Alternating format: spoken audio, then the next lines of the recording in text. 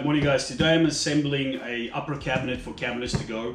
Um, it's a fairly simple process. Um, you want to get yourself a sturdy table to work on. Um, go ahead and put the box upside down and then take your razor blade and, and open the box. Try not to scratch anything, try not to uh, cut into the box itself. Just go around the edges so you can actually unpack it and uh, you know, we'll go from there. Okay, once you have the box opened up, um, you, you're about ready to start taking out pieces. So what I've done is I've opened up the box, cut it in half, and I've put a box on the floor right here. So what I'm gonna do now is take it out in individual pieces so I can see, number one, um, if there's any damage to it, and uh, number two, I can kind of see what I'm working with.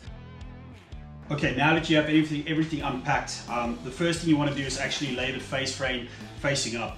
Um, I want to take the doors off for two reasons. Number one, I don't want it to get damaged while we're assembling the cabinet. And number two, it makes it lighter so you can maneuver the cabinet a little bit more. Um, so just be careful when you take these doors off. They got it well protected. Um, what I usually do is I set my drill at around 12 so I don't strip any screws. I'll take the doors off, put it in a safe, in a safe place, and then we'll go ahead and then we'll start assembling the cabinet from there.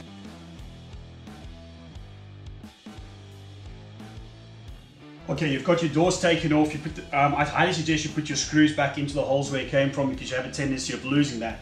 Um, what I did is we're going to install the side panels now. Um, I've already ran a bead of glue on the two edges. Um, the next thing you want to look for is panel B, which is going to be the side panels. So if you look closely on the panels, they'll have these little stickers that says B. So you're looking for both panels, which is B, and these are the side panels. Um, it's a fairly easy mechanism. Um, you basically just slide it into the groove. This plastic uh, uh, uh, bracket will slide over and then you'll just use a Phillips screwdriver to tie it into place. So make sure you get it in the groove. Um, nice and tight. Make sure the edge is in, in, in the little channel and uh, you're good to go. Then it's just an easy turn with the uh, Phillips screwdriver to kind of lock, lock this in place. You don't want to use a screw gun in this process because it will, it will strip this, the mechanism. So a Phillips screwdriver will work perfectly and all you need to do is just give it a half a turn and that will lock this panel right in place, all right? So I'll go ahead and I'll lift it up. Try not to slide your face frame over the cardboard regardless of the fact that you might have um, you know, you might have uh, a protection. There's always an odd chance that you'll get a, uh, you know, something laying on the cardboard and, and it will damage the face frame. So once I've got my second bead ran, I'll go ahead and look for my second panel, right? And I'll go ahead and put that in.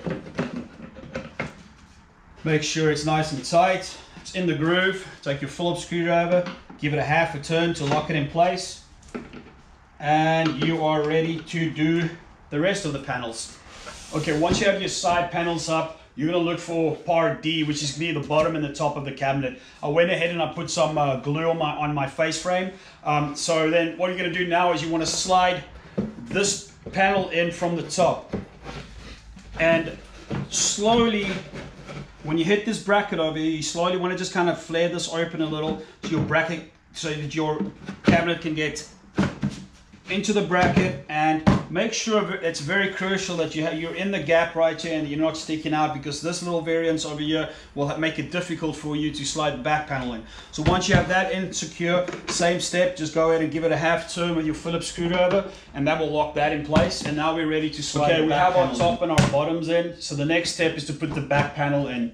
Um, you got to slide it through this groove and make sure, I guess, uh, you know, that you slide it evenly because if you do that, if you slide one side of the of the of the edge more, it's going to wedge and you're not going to go through. So what you want to do is just make sure you wiggle it in a little bit and make sure it stays in that groove. Okay, there's nothing wrong with getting yourself a little rubber mallet, and if you're struggling, just kind of tap it on each side so it goes in perfectly. All right, once you have that in, you want to make sure that it is lined up on the top and the bottom and then we'll open up our hardware box and then we'll start putting some screws in the back. Okay, we have our back panel secured. We've got the four screws in. The next thing you're gonna look for is four of these angle, metal angle brackets. Um, there's two on each side on the bottom and the top and they get connected to the face frame and the side panel to just give you a little bit extra sturdiness. After that, what I usually do, and this is a matter of preference, not everyone has a micro pinner. I go ahead and I'll micro pin the side panel to the back panel just to make sure that it's nice and, and sturdy and, and nothing moves on me.